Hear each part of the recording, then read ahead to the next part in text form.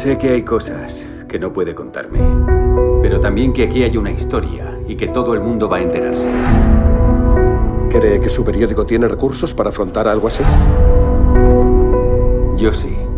¿Y usted? Spotlight ganó premio Oscar a Mejor Película y el film habla de la fascinante historia real de la investigación ganadora del premio Pulitzer llevada a cabo por el Boston Globe que sacudió la ciudad y que causó una enorme crisis en una de las instituciones más antiguas y seguidas del mundo. Escuchad chicos, todo el mundo se interesará por esto. La iglesia lo combatirá con todas sus fuerzas. Solo busco información previa. No registrará esto de ningún modo ni forma. Nada.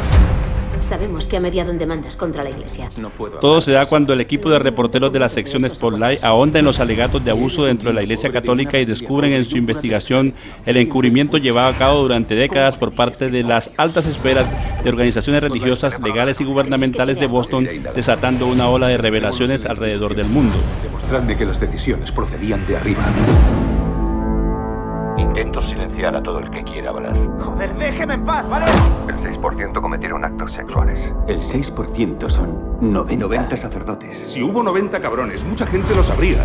Una película que tiene la expectativa a los amantes del séptimo arte que luego de descubrirla como ganadora a mejor película, hoy buscan la posibilidad de disfrutar de su trama y de lo impactante de su historia. Y todos los demás. Estoy aquí porque esto me importa. Contaremos la noticia y la contaremos bien.